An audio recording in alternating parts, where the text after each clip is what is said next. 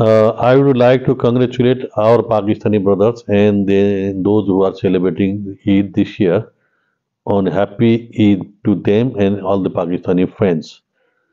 Uh, Eid is a special and biggest festival of Pakistan, and I have seen a lot of people are enjoying and celebrating this festival with their family, friends, and relatives.